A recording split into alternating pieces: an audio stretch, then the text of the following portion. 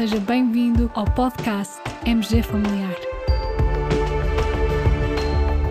Um podcast sobre temas pertinentes que nos fazem refletir e frequentemente com implicações para a prática clínica.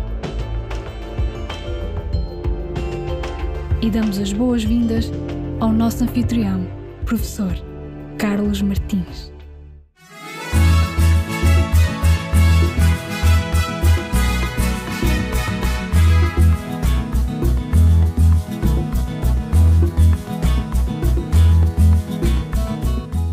Joana tem sido saudável, não fuma, é fisicamente ativa e tem 46 anos. Já vários médicos a aconselharam a fazer uma estatina por apresentar o colesterol elevado. Contudo, a Joana ainda tem dúvidas. Será que preciso mesmo de tomar isto? Até que ponto é que este medicamento me protege de morrer ou de ter um ataque? Caros colegas, uma pergunta difícil qual a dimensão da redução da probabilidade da Joana morrer que lhe é proporcionada pela estatina. A linha A, a estatina reduz a probabilidade da Joana morrer em aproximadamente 0,6%, a linha B, 5,8%, a linha C, 10,3%. Ok, reconheço que esta pergunta e este quiz é realmente difícil.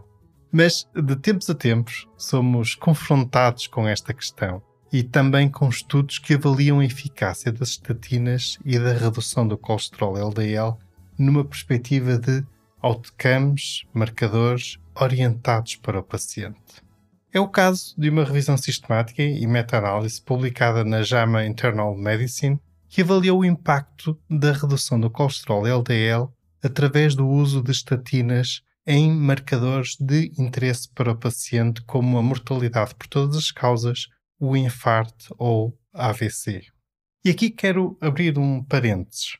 Quando me refiro aos marcadores de interesse para o paciente, estou a referir-me a algo que é muito relevante e que é importante no nosso processo de decisão clínica. Nós não prescrevemos uma estatina para baixar o colesterol.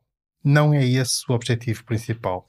Nós prescrevemos uma estatina para proteger o nosso doente de morrer de ter um infarto ou de ter um AVC.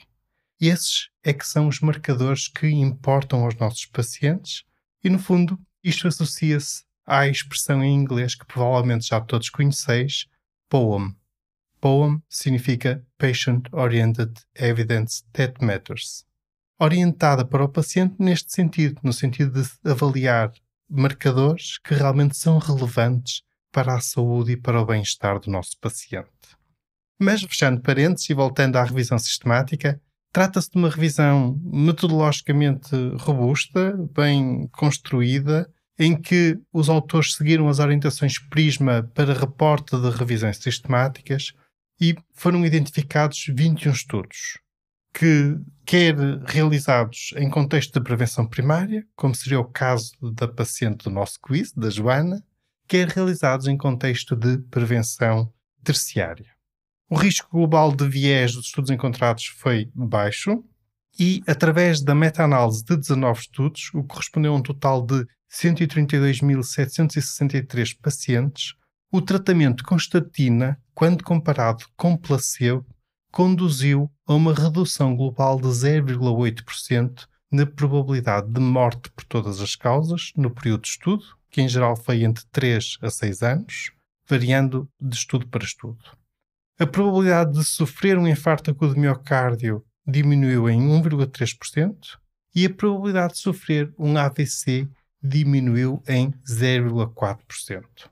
Se se fizer a análise separando os estudos de prevenção primária dos de prevenção terciária, e que na prática é a forma mais correta de analisar esta questão, então, em prevenção primária, verificou-se uma redução de 0,6% na probabilidade de morte por todas as causas, uma redução de 0,7% na probabilidade de sofrer um infarto agudo de miocárdio e uma redução de 0,3% na probabilidade de sofrer um AVC.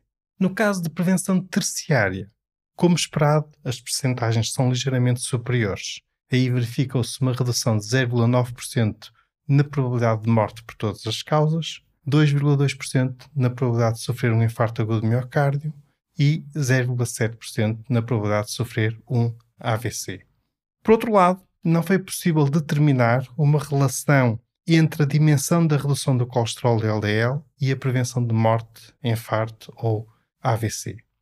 Este estudo, no fundo, vem dizer aquilo que em certa medida já sabemos, mas que é com frequência sobreestimado por uma certa esperança ilusória. Mas, em boa verdade, reduzir o colesterol LDL com estatinas proporciona apenas uma pequena redução na probabilidade de morrer ou de se ter um evento cardiovascular.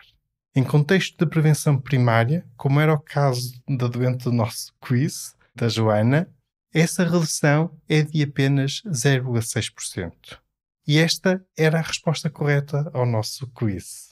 Uma outra forma de entendermos este valor, podemos dizer que se tivermos dois grupos de 200 pessoas e se um desses grupos de 200 pessoas fizer estatina e o outro grupo de 200 pessoas não fizer estatina, então, ao fim de um período de 3 a 6 anos, no grupo que fez estatina, teremos aproximadamente menos uma morte. É um benefício absoluto reduzido, sobretudo em contexto de prevenção primária. Mas este estudo também nos desperta para outra realidade.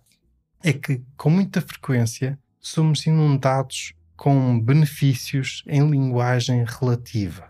Ou então embrulham-nos os marcadores relevantes com marcadores de menor interesse para os pacientes, por exemplo, em marcadores compostos. E todas essas estratégias acabam por inflacionar a percepção que temos do benefício da redução do colesterol.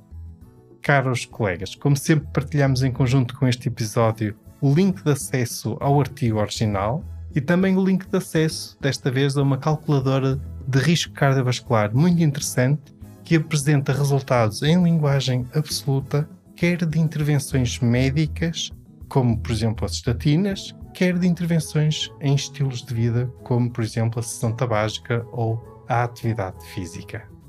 Espero que tenha sido útil. Muito obrigado por nos ouvir. Fiquem bem, continuem bem. Até ao próximo episódio.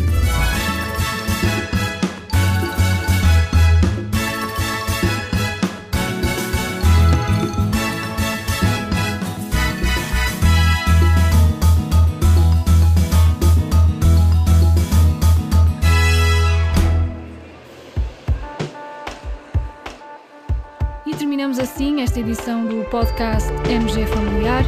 Muito obrigada por nos ouvir. Se desejar completar a sua leitura, muitos dos conteúdos abordados neste podcast estão disponíveis em www.mgfamiliar.net. Até ao próximo episódio.